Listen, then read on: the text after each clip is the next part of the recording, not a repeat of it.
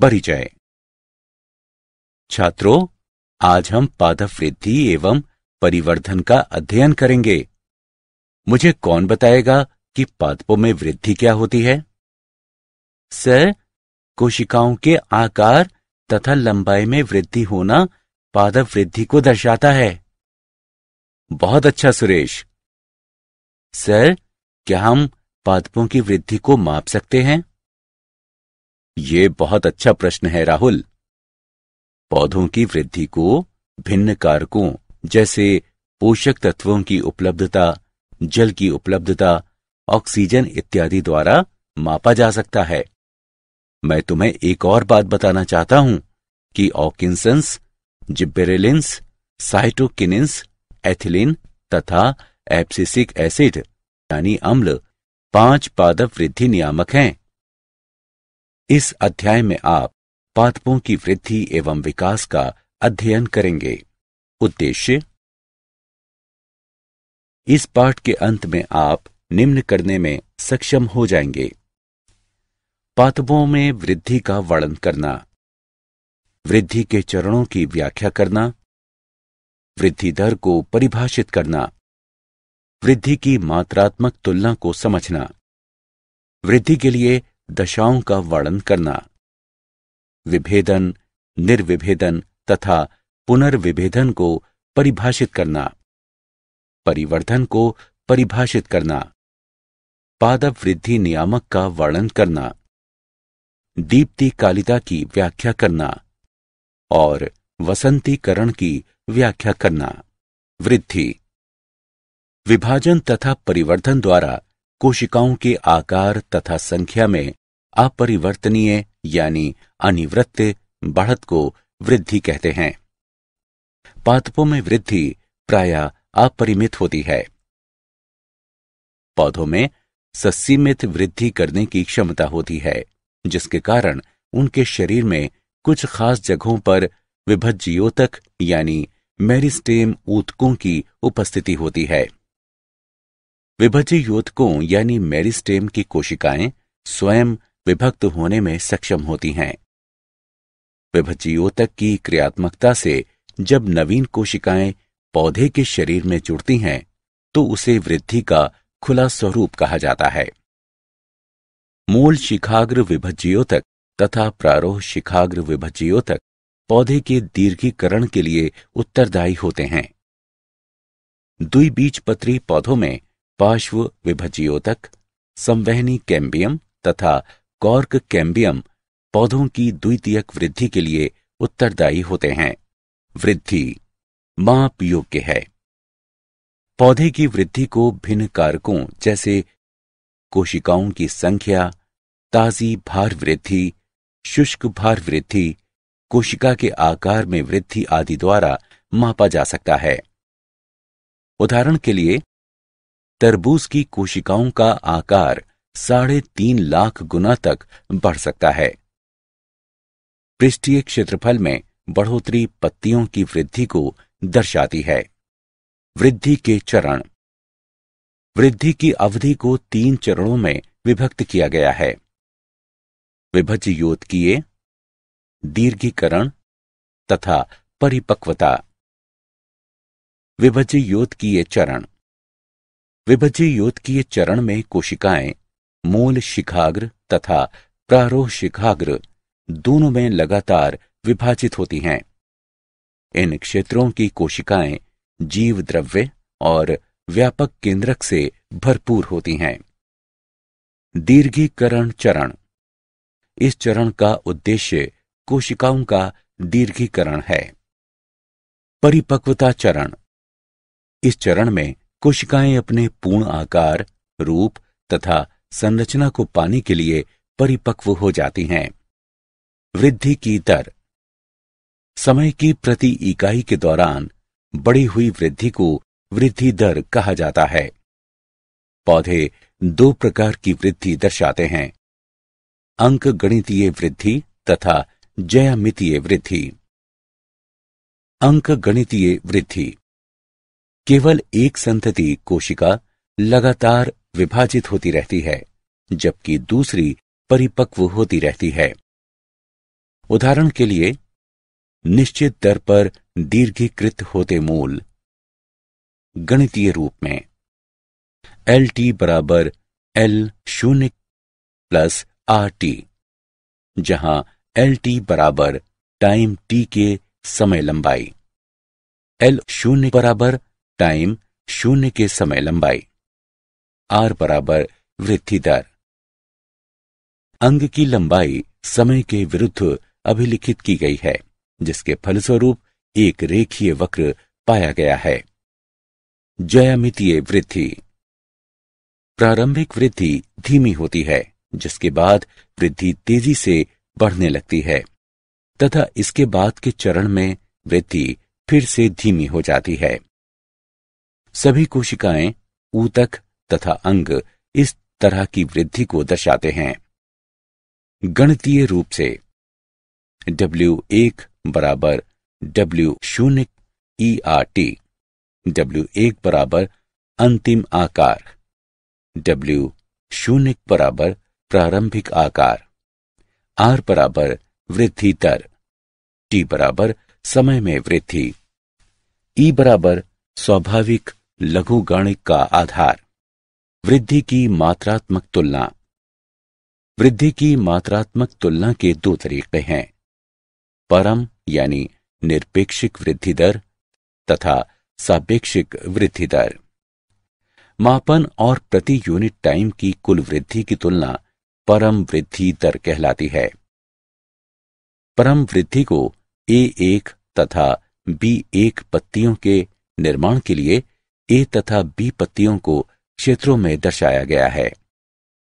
दी गई प्रणाली की प्रति यूनिट समय पर वृद्धि, सापेक्षिक वृद्धि दर कहलाती है।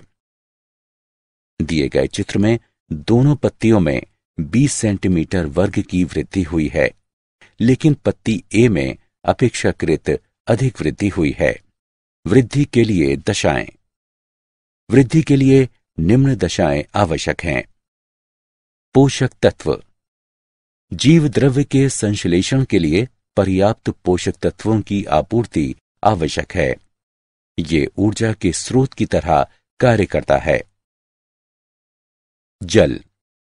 वृद्धि के लिए जल की समुचित आपूर्ति आवश्यक है। ये कोशिका की स्फीति को बनाए रखता है, जो कि वृद्धि को बढ़ाता है। ये एंजाइमी अभिक्रियाओं को माध्यम भी प्रदान करता है। ऑक्सीजन। ये श्वसन तथा ऊर्जा के निष्कासन के लिए अनिवार्य है। ताप। वृद्धि के लिए सर्वाधिक वांछनीय ताप इष्टतम ताप कहलाता है, जो कि 28 डिग्री सेल्सियस से 30 डिग्री सेल्सियस तक होता है। 45 डिग्री सेल्सियस से अधिक ताप जीव द्रव्य को क्षति पहुंचाता है तथा वृद्धि को रोक देता है। विभेदन। निर्विभेदन तथा पुनर्विभेदन। विभेदन।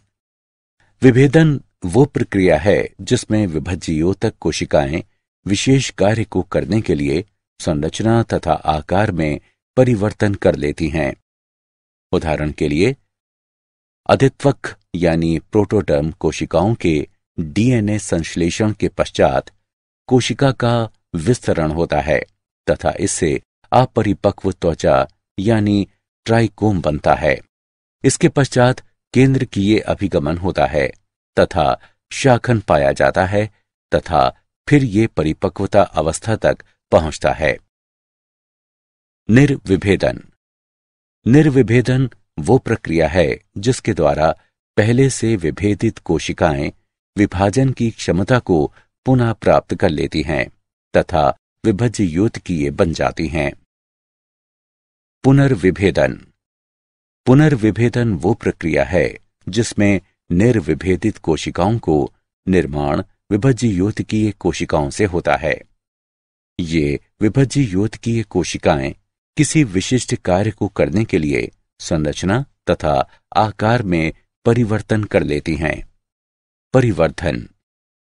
परिवर्धन के अंतर्गत एक जीव के जीवन चक्र में आने वाले वे सारे बदलाव शामिल हैं, जो बीजांकुरण एवं परिपक्वता के बीच संगठन की निम्न दशा से उच्च दशा में आते हैं। पौधे जीवन के विभिन्न चरणों में भिन्न पथों का अनुसरण करते हैं, ताकि विभिन्न तरह की संरचनाओं का गठन कर सकें। इस क्षमता को प्लास्टिसिटी कहते हैं। यदि भिन्न आकार वाली पत्तियाँ एक पौधे के समान अथवा भिन्न प्रारोह पर उपस्थित होती हैं तो ये अवस्था विषम पर्णता कहलाती है। उदाहरण के लिए, लाक्स पर एवं बटरकप। पादव वृद्धि नियामक। विशिष्टताएँ, यानी गुण। सभी पौधों में कुछ ऐसे रासायनिक पदार्थों की कम मात्रा उपस्थित होती है, जो कि वृद्धि तथा विभेदन को नियमित करते हैं। ये पदार्थ वृद्धि नियामक कहलाते हैं। एक वृद्धि नियामक को इस प्रकार से परिभाषित किया जा सकता है कि ये एक कार्बनिक पदार्थ है, जो कि पौधे में प्राकृतिक रूप से निर्मित होता है, तथा पौधे की वृद्धि तथा अन्य कार्यों को प्रभावित करता है।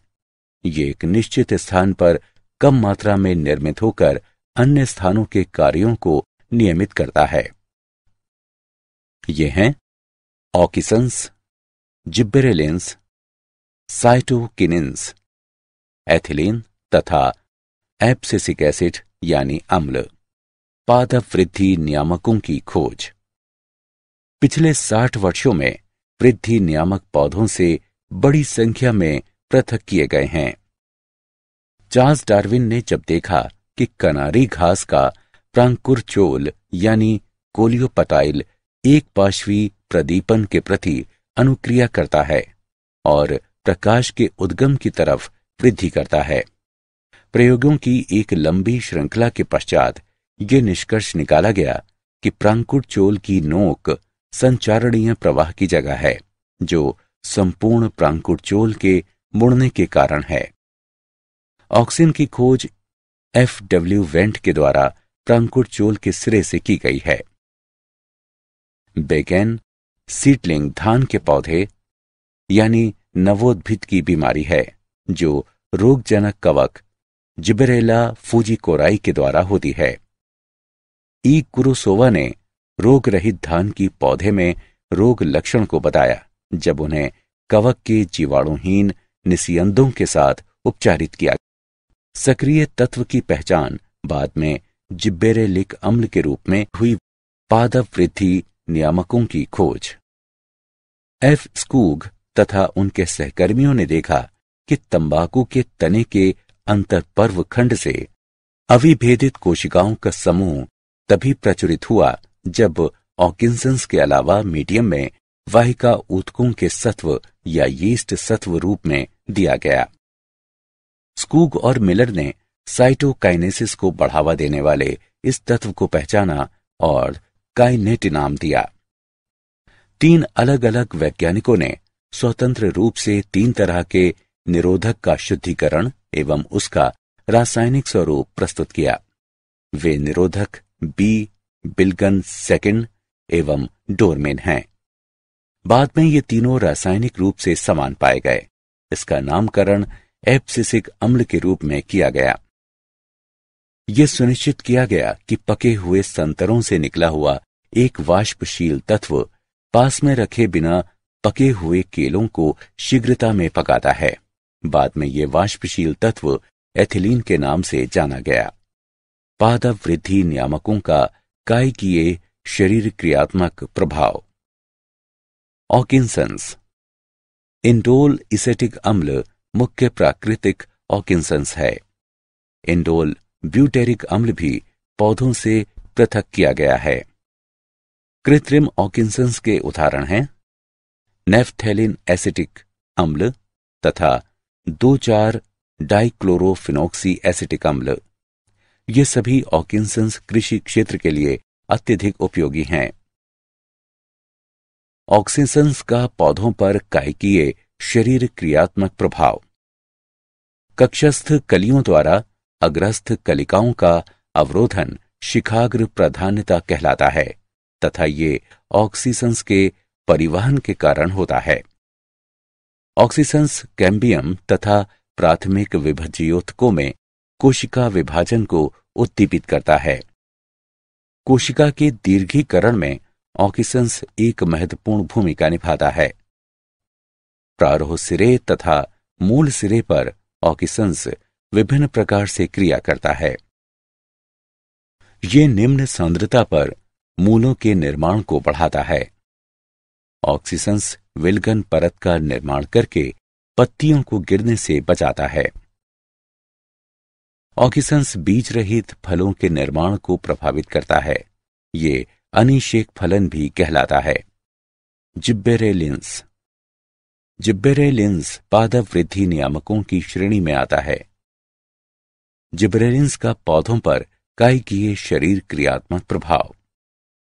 जिब्रेलिंस तने के दीर्घीकरण तथा पत्ती के फैलाव को बढ़ावा देता है, लेकिन ये मूलों, यानी जड़ों पर कोई प्रभाव नहीं डालता। जिब्रेलिंस सलाद, अनाजों आदि में बीज अंकुरण को प्रोत्साहित करता है।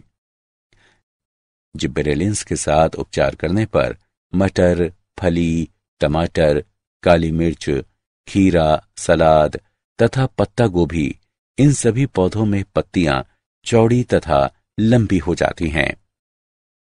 जिब्रेलिंस कलियों तथा प्रकंद की प्रसुप्ति को रोक देता है, लेकिन मूल प्रकंद में जिब्रेलिंक अम्ल का प्रयोग मूल प्रकंद के विकास को अवरुद्ध करता है। जिब्रेलिंस टमाटर, सेब इत्यादि में अनिशेक फलन को उत्पन्न करता है। साइटोकिनेंस साइटोक्रिंस का पौधों पर कायकीय शरीर क्रियात्मक प्रभाव। ऑक्सीसंस की उपस्थिति में साइटोक्रिंस कोशिका विभाजन को उद्दीपित करता है, यहाँ तक कि अविभज्योतकीय ऊतकों में भी। मृदूतक यानी पेरन कायमा ऊतक संवर्धन में जब ऑक्सीसंस तथा साइटोकिनेंस उपस्थित होते हैं तो समसूत्रीय विभाजन तीव्र हो जाता है। ये अनेक बीजों की प्रसुप्ति को तोड़ता है तथा उनके अंकुरण को बढ़ावा देता है। ये पार्श्व कलियों की वृद्धि को भी बढ़ावा देता है। साइटोकिनेंस प्रोटीन संश्लेषण को नियंत्रित करके पादप अंगों में जीर्णन की प्रक्रिया को कम करता है। ये पादप कोशिकाओं में लवण के संचयन में भी सहायक है। एथिलीन। एथिलीन का पौधों पर कायकीय शरीर क्रियात्मक प्रभाव। ये तनों तथा मूलों के दीर्घीकरण को संदमित करके उनकी वृद्धि को परिवर्तित कर देता है। ये पार्श्वकलियों की वृद्धि को संदमित करता है तथा शिखाग्र प्राधान्यता को उत्पन्न करता है। ये अपच्छेदन यानी विगलन परत के निर्माण द्वारा पत्तियों, फूलों तथा फलों के अपच्छेदन को बढ़ाता है। यह अधिकांश पौधों में पुष्पन को धीमा कर देता है, लेकिन अनानास, आम तथा अन्य कई पौधों में पुष्पन को बढ़ा देता है। ये खीरे के पौधे में मादा पुष्पों तथा फलों की संख्या को बढ़ाता है। एप्सिसिक अम्ल। एप्सिसिक अम्ल का पौधों पर कायकीय शरीर क्रियात्मक प्रभाव। ये तनाव हार्मोन की भांति कार्य करता है तथा स्टोमेटा यानी रंध्र के बंद होने को उद्दीपित करता है। ये प्रारोह वृद्धि को रोकता है, लेकिन मूलों को अधिक प्रभावित नहीं करता है। यह संचयित प्रोटीन के संश्लेषण के लिए बीजों को प्रेरित करता है। ये विभिन्न प्रकार के तनावों के लिए पौधों की सहनशीलता को बढ़ाता है। ये जिब्बेरेलिंस के विरोधक के रूप में कार्य करता है। दीप्ति कालिता। कुछ पौधों में पुष्पन सिर्फ़ प्रकाश और अंधकार की अवधि पर ही निर्भर नहीं करता, बल्कि उसकी सापेक्षिक अवधि पर निर्भर करता है। इस घटना को दीप्ति कालिता कहते हैं। आवृत्ति बीजी पौधों के पुष्पन की प्रतिक्रिया को तीन श्रेणियों में बांटा गया है। अल्प प्रदीप्तकाली पौधे। ये पौधे पुष्पन तब प्रारंभ करते हैं जब दिन में, यानी प्रकाश की अवधि, एक निश्चित क्रांति अवधि की तुलना में कम यानी छोटी होती है। यदि इन पौधों का एक निश्चित क्रांतिक अवधि की तुलना में अधिक अवधि पर छोड़ दिया जाए तो ये कायिक बने रहेंगे। अल्प प्रदीप्तकाली पौधों के उदाहरण कॉस्मोस, डहेलिया आदि हैं। दीर्घ प्रदीप्तकाली पौधे जब दिन में प्रकाश की अवधि एक निश्चित क्रांतिक अवधि की तुलना में अधिक होती है, तब ये पौधे पुष्पन को रोक देते हैं। दीर्घ प्रदीप्तकाली पौधों के उदाहरण जौ, गन्ना आदि हैं। तटस्थ प्रदीप्तकाली पौधा। इन पौधों में प्रकाश की अवधि एवं पुष्पन प्रेरित करने में कोई संबंध नहीं होता है। तटस्थ प्रदीप्तकाली पौधों के उदाहरण। सूरजमुखी, टमाटर आदि हैं। वसंतीकरण। वसंतीकरण वह प्रक्रिया है जिसमें पौधों में पुष्पन को बढ़ाने के लिए उन्हें कम तापक्रम पर रखा जाता है। कई समशीतोष्ण पौधों में पुष्पन की प्रक्रिया को प्रारंभ करने या उसे बढ़ाने के लिए वसंतीकरण की आवश्यकता होती है। कई पौधों की स्पीशीज यानी जातियाँ जैसे अरेबिडोप्सिस, थेलियाना के इकोटाइप्स तथा शरद अनाजों जैसे कि गेहूँ को शरद ऋतु में ही बोना चाहिए। अनेक द्विवार्षिक स्पीशीज में वसंतीकरण पाया जाता है, जो कि ताप में भिन्न हो सकता है। क्या आप जानते हैं? पार्श्व मूल परिरंभ से विकसित होती है। एल्यूरोन कोशिकाओं में अल्फ़ा एमाइलेज एंजाइम के लिए एमआरएनए संश्लेषण को जीए थ्री रोकता है। सारांश, आइए हमने जो कुछ सीखा है उसे संक्षेप में दोहराएँ। वृद्धि को एक अवयव या अंग या इसके किसी भाग या यहाँ तक कि एक कोशिका के आधार में अनिवर्त स्थायी बढ़त के रूप में परिभाषित किया जा सकता है। वृद्धि के तीन चरण विभज्य किए, दीर्घीकरण तथा परिपक्वता हैं। समय की प्रति इकाई के दौरान बढ़ी हुई वृद्धि को वृद्धि दर कहा जाता है। पोषक तत्व, जल, ऑक्सीजन, ताप वृद्धि के लिए आवश्यक दशाएँ हैं। विभेदन वो प्रक्रिया है जिसमें विभज्योतक कोशिकाएँ विशेष कार्य को करने के लिए संरचना तथा आकार में परिवर्तन कर लेती हैं। निर्विभेदन वो प्रक्रिया है जिसके द्वारा पहले से विभेदित कोशिकाएँ विभाजन की क्षमता को पुनः प्राप्त कर लेती हैं तथा विभज्य किए बन जाती हैं। पुनर्विभेदन वो प्रक्रिया है जिसमें निर्विभेदित कोशिकाओं को निर्माण विभज्य किए कोशिकाओं से होता है। ये विभज्य किए कोशिकाएँ किसी विशिष्ट कार्य को करने के लिए संरचना तथा आकार में परिवर्तन कर लेती हैं। ऑकिसंस जिब्बेरेलिन्स, साइटोक्विनिन्स, एथिलीन तथा एप्सिसिक अम्ल वृद्धि नियामक हैं। कुछ पौधों में पुष्पन सिर्फ़ प्रकाश और अंधकार की अवधि पर ही निर्भर नहीं करता, बल्कि उसकी सापेक्षित अवधि पर निर्भर करता है। इस घटना को दीप्तिकालिता कहते हैं। वसंतीकरण वह प्रक्रिया है जिसमें पौधों में पुष्पन को बढ़ाने के लिए उन्हें कम तापक्रम पर रखा जाता है।